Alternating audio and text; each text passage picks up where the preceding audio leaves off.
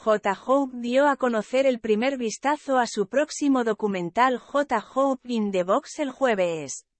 ¿El comienzo de este proyecto? Pregunta el ídolo del K-pop cuando comienza el clip de 30 segundos. La gente en el mundo no sabe qué tipo de música hace J. Hope de BTS. Salgo de la caja y quiero dar la bienvenida al mundo en general.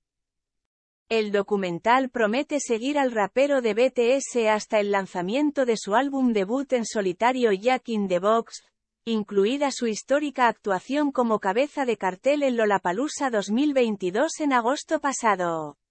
Todos sus compañeros de banda de BTS también aparecen en el tráiler, posando para una foto juntos mientras el sencillo Arson de J. Hope suena en la escena.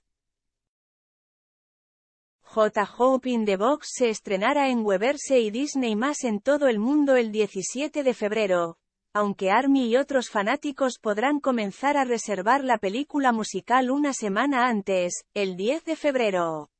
Tras su lanzamiento el verano pasado, el set de estudio con tendencia al hip hop de la vieja escuela, que fue precedido por el sencillo principal More, aterrizó en el número 5 en la lista de ventas de álbumes principales de Billboard y también colocó a J. Hope en el top 20.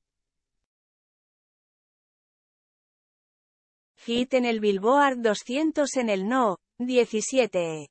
En ese momento, el rapero confesó a NME que estaba, un poco preocupado al principio, porque el álbum Jack in the Box contiene mi historia y lo que realmente quería hacer.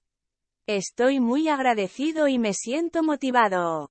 Entonces, para aquellos que apoyaron mi música, quiero probar muchas cosas diferentes con mi música y mostrarlas todas en el futuro.